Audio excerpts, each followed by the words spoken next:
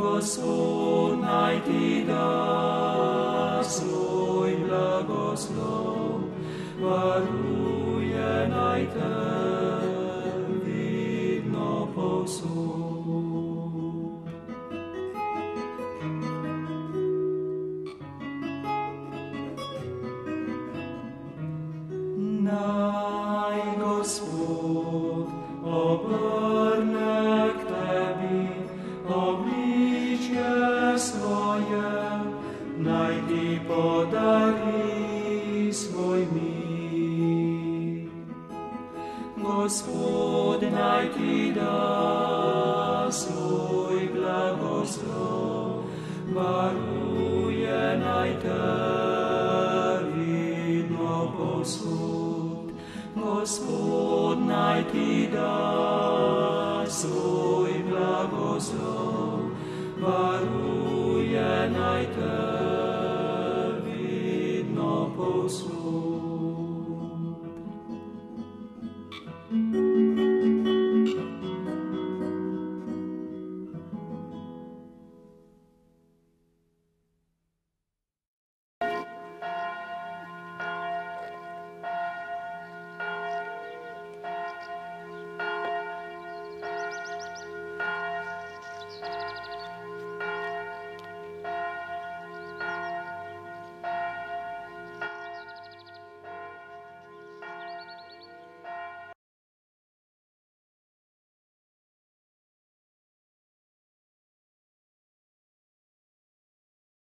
Če damo Boga na prvo mesto v svojem življenju, so vse stvari na pravem mestu.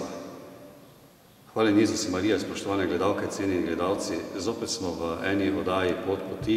Tokrat nas je pot, prav na željo naših gledalcev, oddaje pot pri- pripeljala v Škofijo Novo mesto, v župnijo eh, Kočevska reka in lepo dobrodošlico želimo tukajšnjemu župniku Jožetu Boko, živi v naši domači oddaji. Hvala lepa za povabilo. Morda bi na začetku vas prosil, če bi našim gledalcem povedali, kje pravzaprav sem jaz danes vaš gost.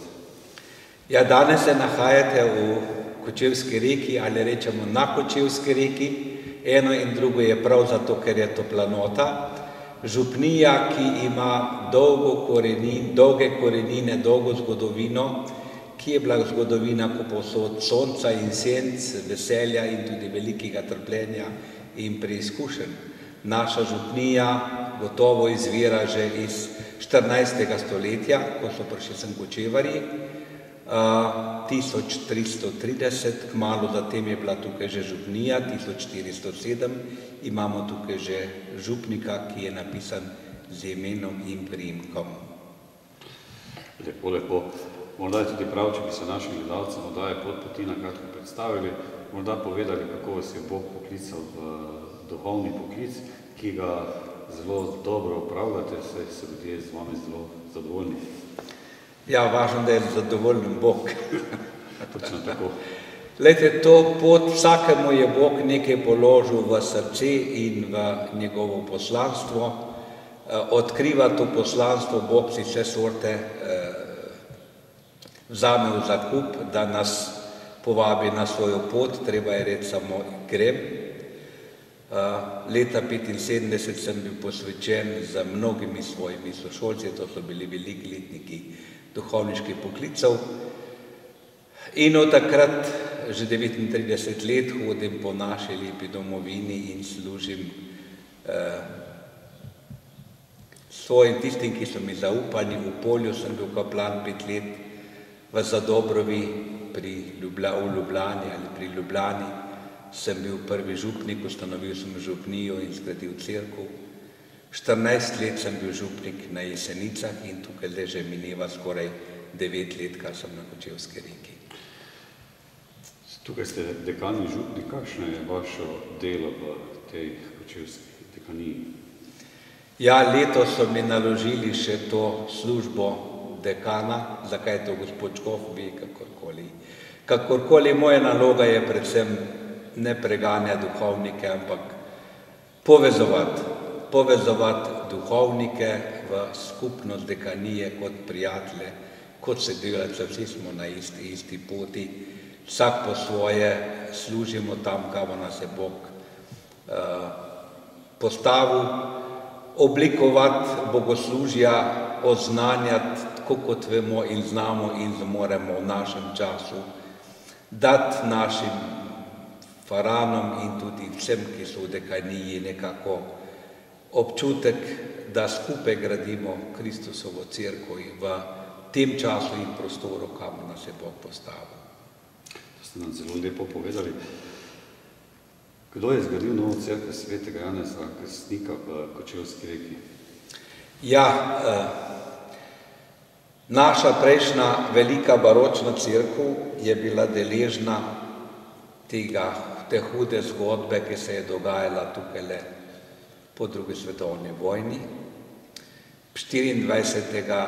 januarja 1954 do 2. februarja 1954 se je dogajala strašna stvar, ko so crkvo minirali in jo potem pospravili. Do leta 1999 je bil to kraj brez svetišča in brez duhovnikove prisotnosti.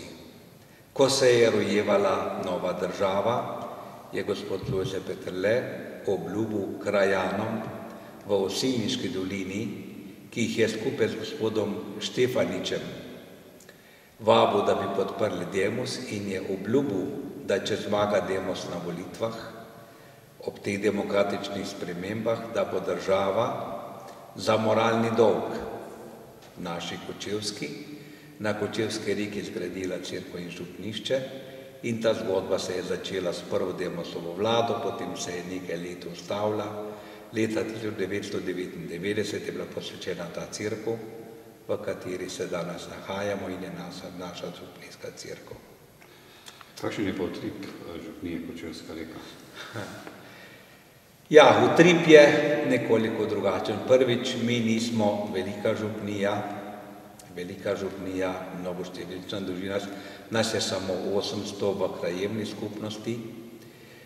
Velik problem naše župnije je ta, da je tukaj smo v glavnem vsi priseljenci, ni domačinov, ni jedra ni tradicije, na kateri bi gradili neko zgodbo odrešenja in crkveno leto, to je eno. Vse sorte smo pomešani in nacionalno, in versko, in svetovno nazorsko, kakorkoli, zaradi takšnih in drugačnih vzrokov, to je ena zgodba, druga zgodba je pa ta, da mi imamo vasi, ki so pravzaprav nove, so zelo oddaljene od župnijske cerkve. In stari ljudje, ki bi šli radi tudi med tednom, da jih bogoslužijo, jih nima kdo pripeljati in zato nas je nekoliko manj. Je pa župnija živi in se prizadeva odprta vratama vsem, ki to želijo. Cerkev Janeza Krstnika na Kočevski reki stoji na mestu nekdanje cerkve, ki je bila odstranjena 25. januarja 1954. Ko so se začele demokratične spremembe, je gospod Lojze Peterle obljubil, da bo država za moralni dolg na Kočevski reki zgradila crkvo in župnišče. Ta zgodba se je s prvo vlado, Demosovo vlado začela, ki se je zaključila 20. junija 1999, ko je bila ta crkva posvečena.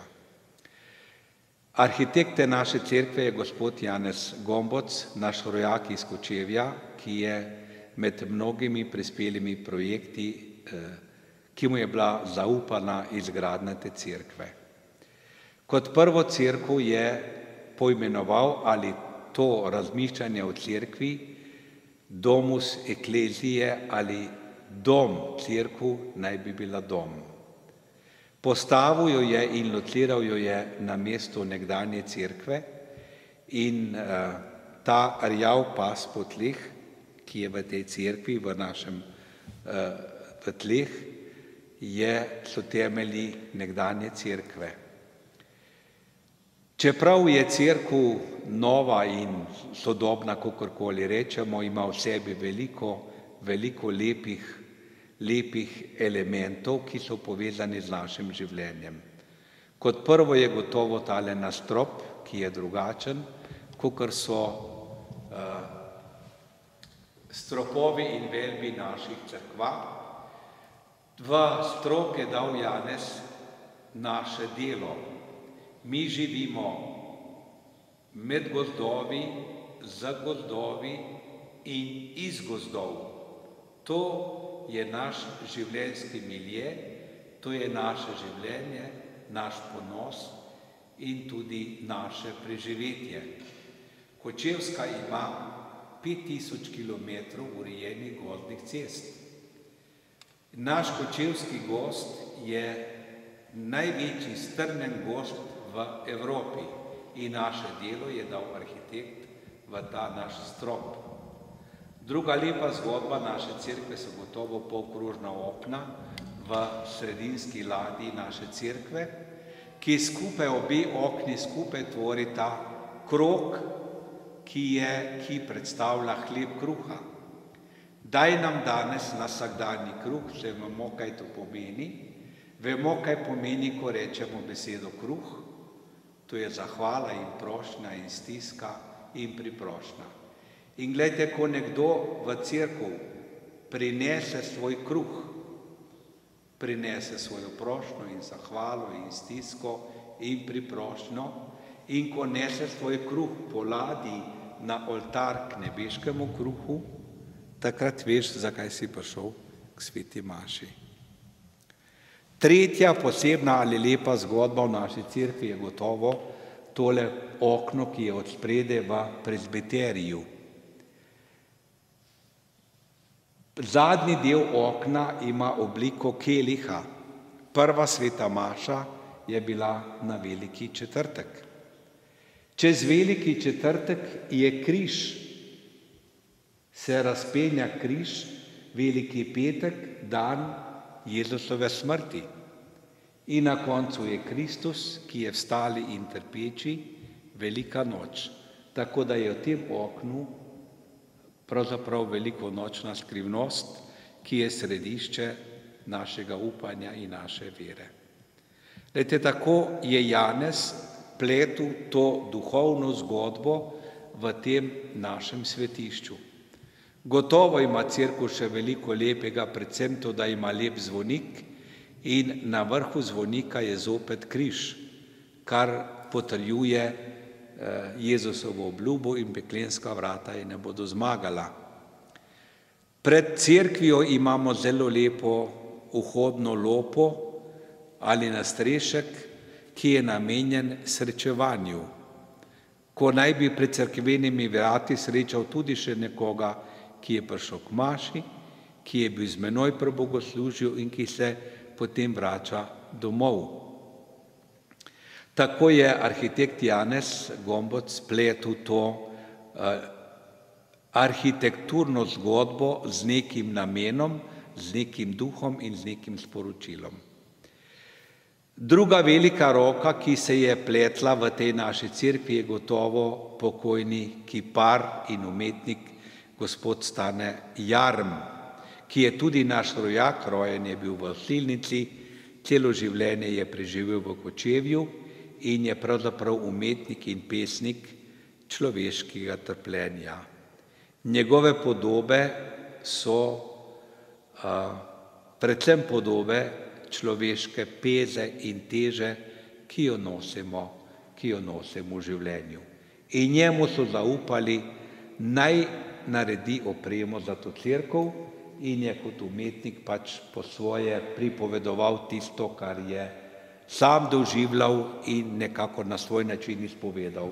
V sredini je farni zavetnik Janez Krstnik oziroma krst v reki Jordan, sveti duh Janez Krstnik in Jezus v reki Jordan, ko je Jezus začel javno delovanje. Ko so prinesli tega velikega Jezusa v Natale zade za oltar, je gospod Jarem povedal zelo lepe besede. Kristus se vrača tja, odkudar je bil pregnan. Gotovo pa je najlepši antipendij oziroma prednji del našega daritvenega oltarja, ki ima upodobljeno Jezusovo umiranje na križu veliki petek, Jezus, Janez in Marija in napis na oltarni plošči, usmili se vseh Gospod. Glede, vsaka sveta maša je spravna daritev med menoj in Bogom, med nami in Bogom, med časom in večnostjo, Bog se daruje kot sprava za naše človeške zablode. In tudi ta crkva in oltar je bila tudi zamišljena kot crkva sprave za velike rane, ki, jim je bila, ki jih je bila deležna Kočevska. Spomnimo se naših grobišč, Jelendol, Konfin, Mozel, Kočevski rok in še kaj drugega, tisoči in tisoči počivajo tukaj. Usmili se vse Gospod, Bog ne sodi, mi nismo zato tukaj. Kristus naj se usmili vseh. In ta jarmova zgodba se potem izpoje tudi v tem njegovem lepem, eh, prelepem križevem potu, ki ima tudi neko svojo sporočilo, svojo težo eh, in svojo govorico. In Jarmova zgodba se zaključi v naših nihajnih vratih, ko je na mesto navadne kljuke dal dve ribi, ki so bile prvi izraz ali prva upodobitev in pripadnost Jezusu Kristusu, kajte riba je prvo znamenje eh, krščanstva ali prva izpoved veroizpovedi, po grško se riba reče ihtis, v vsaki črki te besede je Jezus Kristus, Božji sin, odrešenik. Tako je Jarem nekako upodabljal v tem svetišču svojo umetniško izpoved in tudi svojo vero. Lete, obenem pa je v naši crkvi tudi nekaj, kar nas povezuje z rodovi, ki so bili pred nami tukaj le, roki so tisoč stoletja prihajali v to svetišče in tukaj iskali pomoč in moč in odpuščanje in blagoslov za svoje trdo življenje. Zato imamo v cerkvi nekaj ostankov čudovitega baroka, ki je bil oprema prejšnji cerkvi. V prezbiterju imamo križov pot, ki je bil v tej cerkvi prej, ima celo nemške podnapise, kot je bilo prej. Od zadaj so štiri čudoviti kipi, ki so bili na glavnem oltarju, prerok Izaija, Zaharija, oče Janeza Krsnika, sveti Štefan in sveti Lovrenc. Od zadaj pod korom je tudi čudovita slika stranskega oltarja Veliki petek, delo Štefana Šubica in v prezbiteriju je tudi druga slika stranskega oltarja, rožamenska, rožamenska mati Božja. E, tako da je tudi tukaj nekaj teh stvari, ki nas povedujejo za rodovi, ki so bili pred nami tukaj le en tak, ena taka ves pietete in spoštovanja do uh, prebivalcev te naše župnije, ki so nekoč tukaj živeli. Tako crkva je zelo, zelo lepa, čeprav je nova in moderna, kakorkoli se temu reče, ponuja priložnost tudi za osebno molitev, za skupno bogoslužje je izredno akustična, imamo tudi zelo lep inštrument, čudovite škrabljeve orgle, ki pomagajo našemu bogoslužju. Tako da je zelo lep prostor, ki ima še nekaj posebnega, to je še posebna galerija fotografij naših crkvic in crkva, ki so nekoč bile tukaj le v naši okolici, pa jih danes ni več, kot spomin in opomin tistim, ki smo tukaj le in tistim, ki bodo prišli za nami. Morda je v, naši, v tej naši zgodbi uh, zelo zgovoren tale, ta dva zemljevida, ki prikazujeta našo Kočevsko. Leta 1935, to je pred drugo svetovno vojno, te naše crkve, crkvice, župnijske, podružnične, uh, pokopališča in tako naprej. In leta 2006 isto pokrajino, ki nima ti znamen, kar pomeni, da so bile te crkve odstranjene, porušene, uh, kakorkoli so izginile iz obličja te naše kočevske. Ob mnogih, mnogih tih crkvah so bila tudi uničena pokopališča in grobovi in tako naprej. In nekako se vidi, kaj je pravzaprav naša kočevska zgubila, da je zgubila svojo dušo. In zato je bila morda toliko časa nekako dežela, ki je bila zaznamovana z nekim nelagodjem, z neko stisko, z neko odmaknjenostjo. Zato se pa trudimo tisti, ki smo zdaj tukaj, da bi temu kraju in tej pokrajini zopet vrnili sonce in nasmeh in upanje in veselje za danes in za jutri. thank you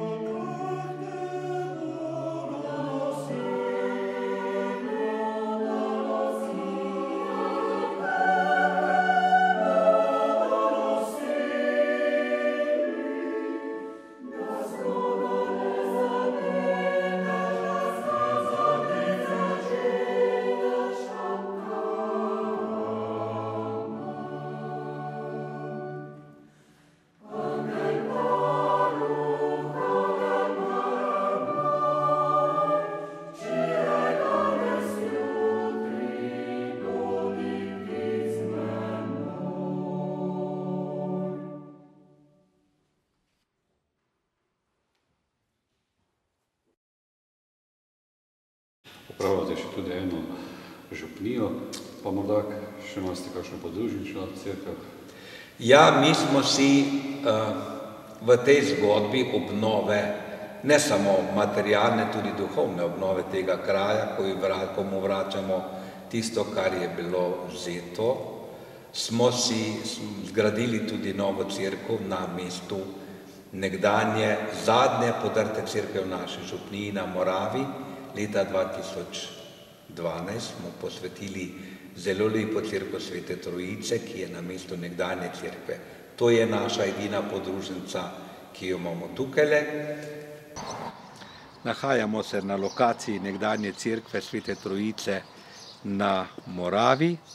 Ta sedanja je seveda drugačna, ampak je na temelju oziroma prostoru nekdanje cerkve. Eh, v tlaku, ki je okrog cerkve, je zarisan gabarit nekdanje cerkve, ki je tukaj stala do leta 1956. Kostani so tudi še govorica nekdanje zgodovine v tej senci ali pod tem savolokom so nekdani prebivalci Morave prihajali v crkvo svetišče Svete Trojice, Svete Trojice tukaj na Moravi. Nahajamo se v crkvi Svete Trojice na Moravi, ki je bila blagoslovljena v septembru eh, 2012. Cerkev stoji na mestu nekdanje crkve Svete Trojice, ki je bila uh, kot zadnja porušena v povojnih, v, po 50. letu tukaj le uh, na Moravi. Povod za izgradnjo ali postavitev te crkve je bila gotovo oltarna slika, ki je bila rešena od nekdanje crkve in je nekako prišla spet na svoje mesto. Na svoje mesto za to crkvijo je kraj dobil zopet neko svoje središče, dobil je eh, svoje svetišče, dobil je prostor, kjer se ljudje družijo, srečujejo ne samo, tudi, ne samo z Bogom, tudi med seboj. Zvonček, ki je eden od treh, ki so bili zakopani po vojni in skriti na Zdihovem, kamor jih je zakopal in skril takratni upravitelj zdihovega gospod Poje je tukaj le v tem našem zvoniku in danes zopet vabi ljudi k molitvi in počitku. Eh, Cerkvica je pač seveda sodobna in nova in nova ima pa vlogo, kot, so, kot je imela tudi njena predhodnica, ki je bila tukaj tam nekje od 16. stoletja naprej. Uh, Arhitekt te naše crkve je bil naš prijatelj, gospod Janez Gombac, ki je zelo lepo uh, narisal to opremo in obliko tega našega svetišča, ki je tako lepo domače, družinsko, ne bogato po svoji opremi, bogato pa po tistim, kar, crkvu, kar človek v crkvi dobi in išče. Del apside, ki je bil odkrit v zemlji, kajti ko so podirali crkvu, so si naredili eh, tračnice, vozičke in so kamen zmleli in ga odpeljali v dolino, kar je ostalo v zemlji, tukaj le smo pač najdli in nekako dogradili, da je en del naše zgodovine eh, tako tudi viden in prijazen v tem, v tem novem okolju. So upravljam pa še župnijo Banja Loka, ki je na poti iz Kočevja proti, eh, proti meji, proti Fari in mejnemu prehodu na Brodu oziroma Petrini. In to je majhna župnica, ki ima nekaj čez sto ljudi, ki nima več mladih družin, ki nima več mladih, ostali so stari, starejši, ki odhajajo, njihovega mesta pa nihče ne zapolni.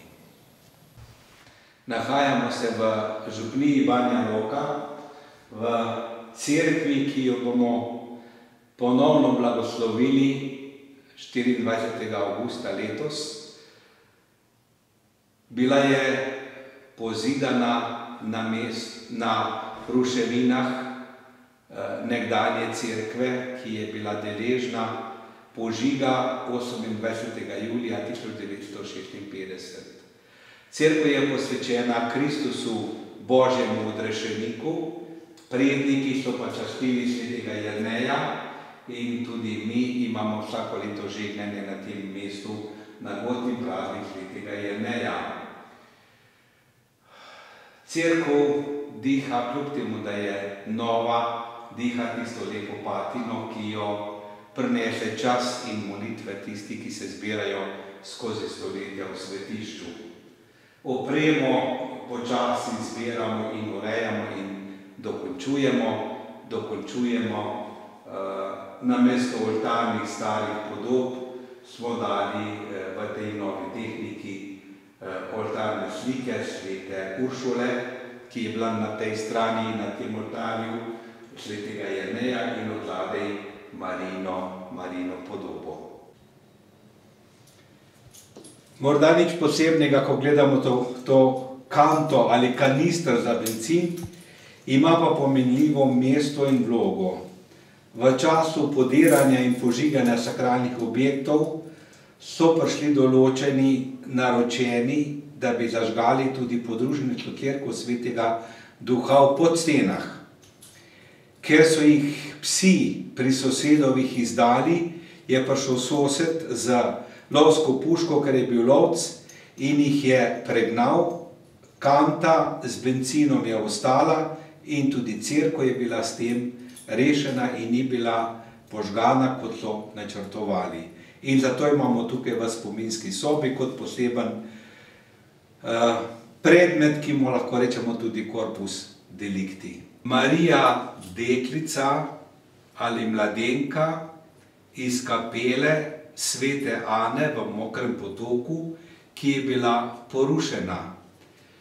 Nekdo jo je ob podiranju skranil in skril in jo imel doma kot svet spomin, ko so zvedeli, da se v našem župniču hranijo in ohranijo stvari iz naše preteklosti, so mi jo prinesli nazaj. Posebnost tega čudovitega kipa je ta, da je ta Marija mladenka ali deklica oblečena v oblačili, ki so pobarvane v barvah narodne noše naših prednikov, kočevarjev na našem področju. Zdraven je kip žalostne matere Božje, tudi od ene izmed porušenih kapel v naši bližini. Vaša župnija je posebnost v slovenskem oziroma v evropskem prostoru. Se strinjate s tem mojim mnenjem? Ja, vse to je tako. Vsaka župnija ima neko svojo zgodbo, rasa je v nekem okolju in prostoru, zaznamovana je za življenje v tem prostoru in v teh zgodovinskih danosti, ki so bili gotovo, od leta 1953 do 1991 duhovnik ni imel stopa v ta prostor.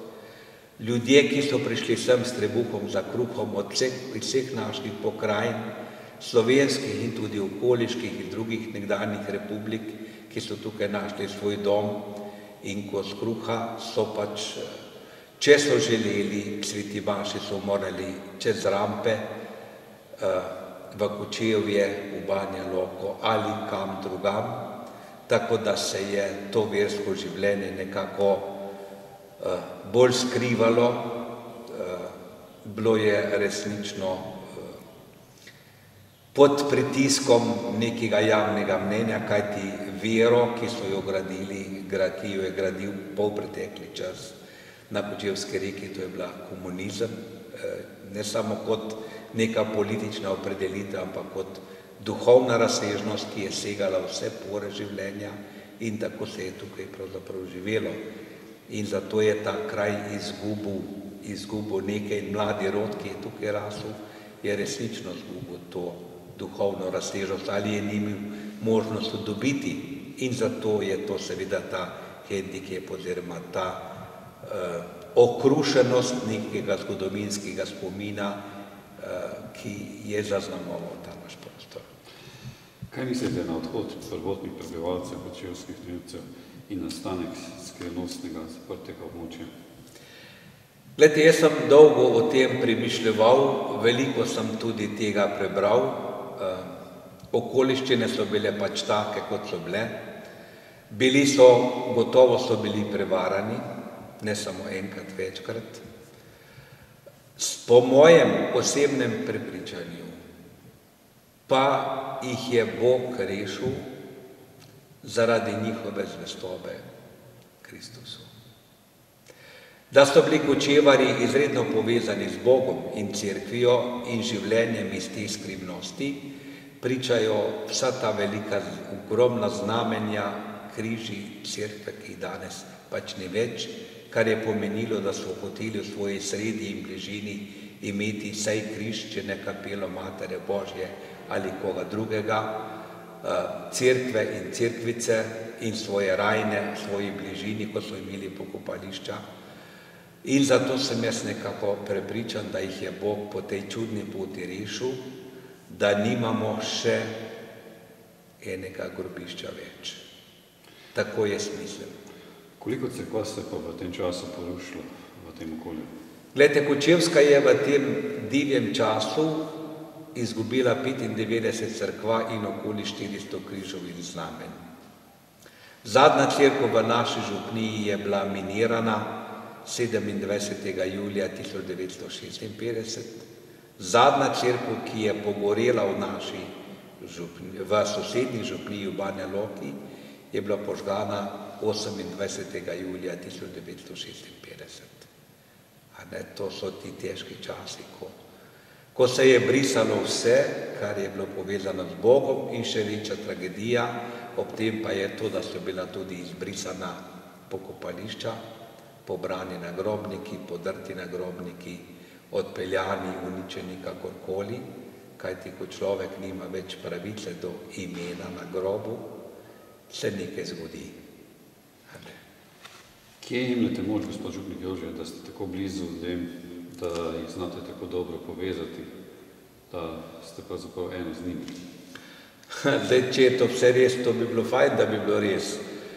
Uh, Glede, jaz sem rastel na kmetih iz kmetije in sem navajen, mene je mama naučila in oče in domačija me je naučila potrpeti, delati in moliti.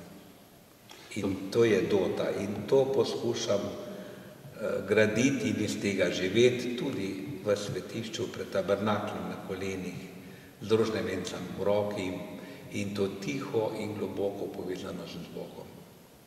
Morda bi še nas naše gledalce povabil, da molijo za svetost svojih duhovnikov, svojih najbližjih. Doma ste pa iz Bele krajine. Ja. Kakšni so pa ti spomini?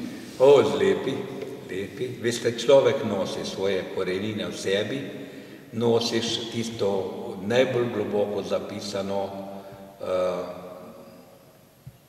pokrajino, s katero si rasel, utrip življenja, ki si ga doživlja doma v svoji soseščini, delo in pašo, mi smo rasli na kmetiji in v revščini, ampak to je povezano s toliko lepimi, lepimi in bogatimi spomini. In to nosi sabo. In se rad vračam, rad se vračam, ne samo, kadar mi zmanjka vina, da grem domov, ampak tudi, da srečam kraj in ljudi, ki so mi blizu in ki so mi blizu. Je pa verjetno, če otrok dobi od uh, staršev tisto starševsko ljubezen, uh, molitev, uh, ko pripravijo na sveto mašo za kamente, uh, se to nese seboj. Prav gotovo in če tega nimaš, resnično ti nekaj manjka. In mi smo to imeli srečo, jaz sem jo mamo, ki lahko rečem, da je bila sveta žena, a ne in tudi očeta, ki sta v teh trdih eh, časih so znali praznovati nedeljo in praznike. Vedeli smo, kaj je mašni kvant, vedeli smo, kaj je nedeljsko kosilo, vedeli smo, kaj je crkveno leto, vedeli smo, kaj so prazniki. Vedeli smo tudi, kaj je trdo delo in garanje in moli in dele, tako se je pri nas res živelo in to je dota, ki jo, ki jo bi jo prvoščil vsem.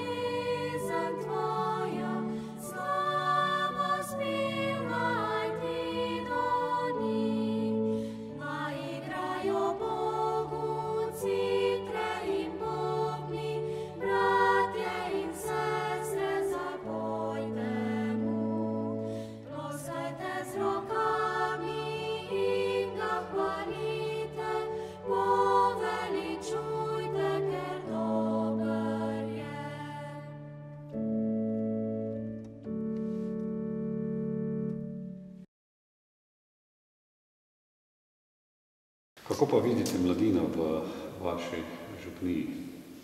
No, mladih je veliko, jih je kar nekaj, jih je kar nekaj, jaz se veselim z njimi in njihovo mladostjo uh, in bi jim prvoščil, da bi našli vsaj delček tistega, kar smo mi našli, ko smo rasli, ko sem sam rasel.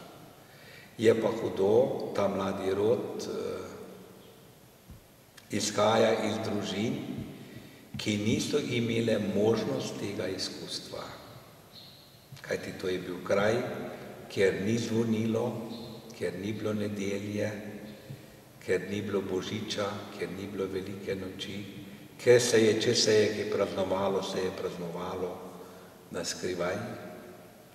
In zato ti otroci doma v veliki meri ne dobijo. Ali so družine take, da je eden od staršev je rasel v nekje v cerkvi ali s cerkvijo, drugi nima pojma ali kakorkoli. Ali se jih pa še drži nek strah, ki je zaznamoval ta naš kraj iz pretekle zgodovine, kaj bodo drugi rekli. In tudi javno mnenje ni naklonjeno tem vrednotam, ki jih uči Evangelij in Cerkev. Mi poskušamo narediti v župniji vse, imamo veruki, imamo pevske vaje, na more jih vabim, vse sorte počnemo, zato da bi jim vsaj v njihov spomin zapisal. Lepo nam je bilo skupaj, ko bodo imeli svoje otroke, pa bodo morda videli, kam pripele svoje otroke. Smo slovenci Marina? Ja, bili smo prav gotovo, lete niti ene naše crkve ni brez Marine podobe, koliko pesmi ima slovenski kor in slovenska crkva Marinih, to je neizčrpan zaklad, kar pripoveduje o tem. Naše božje poti, čeprav niso mogočne kot Fatima in Lourdes, pa kljub temu so tisti, tiste toplice, ker se slovenci radi zbiramo in se vedno počutimo doma in domače. O tem pričajo vsi ti marini prazniki, predvsem 15. avgusta ali kaj drugega, kar govori o tem. In fajn bi bilo, da bi to ohranili in da bi se iz tega, iz te zakladnice tudi danes hranili pot svoje vere. Preden bi oddajo zaključil, bi vas vprašal, če je križ blagosloven, ga verjetno lažje nositi.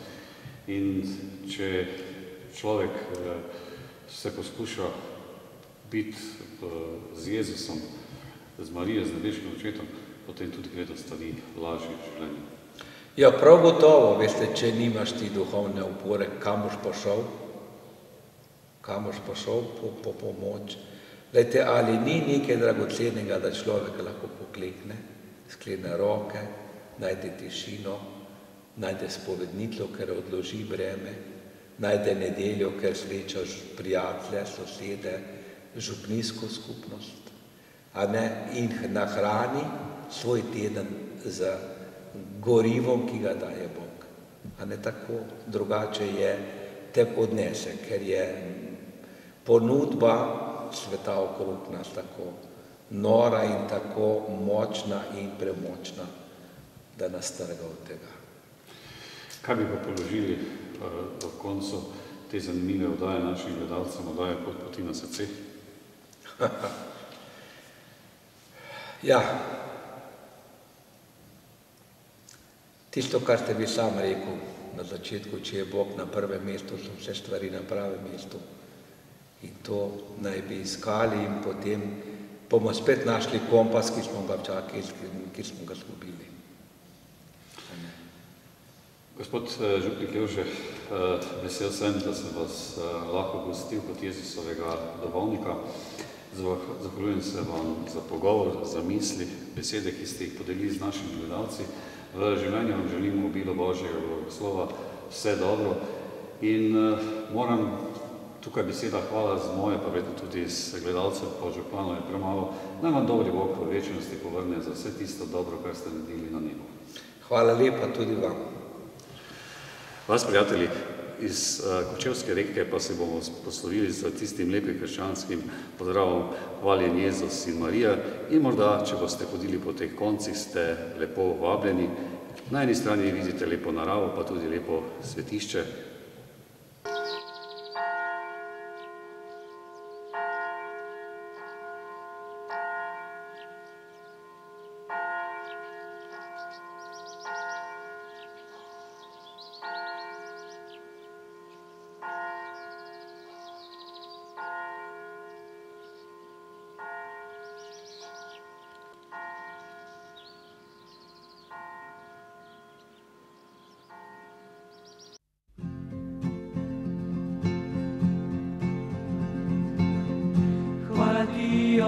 Gospod, hvala ti, o moj Gospod, hvala ti, o moj Gospod, hvala ti, o moj Gospod, da nam sonce vsak dan sije in ogriva nam življenje, razsvetljuje pot vseh tistih, Gospod. Za vse zvezde in za luno, hvala ti, o moj Gospod, ki so kakor moje sestre, hvala ti, o moj Gospod, na nebo si jih postavil, hvala ti, o moj Gospod, in jih dal vsem, ki so v temi. Hvala ti, o moj Gospod, hvala ti, o moj Gospod, hvala ti, o moj Gospod, hvala ti, o moj Gospod, hvala ti, o moj Gospod, hvala ti, o moj Gospod, hvala ti, o moj Gospod. Hvala ti za mater zemljo, ki zelišča cvetje daje, ki jo obdelujemo da rodi naš kruh vsakdanji. Za pogumne v trpljenju, hvala ti, o moj Gospod, odpuščajo ljubezni, hvala ti, o moj Gospod, daj svoj mir ima Gospod, hvala ti, o moj Gospod, ko življenje zvečeri se. Hvala ti, o moj Gospod, hvala ti, o moj Gospod, hvala ti, o moj Gospod, hvala ti, o moj Gospod. Hvala ti, o moj Gospod, hvala ti, o moj Gospod, za našo sestro smrt, ki jo čutim vsak trenutek, a če bom živel v ljubezni, dala smisel bo življenju. Za ljubezen, ki je v svetu, hvala ti, o moj Gospod tvoj dar je vsem ljudem. Hvala ti, o moj Gospod, za življenje vseh otrok. Hvala ti, o moj Gospod, ki prenavljajo na svet.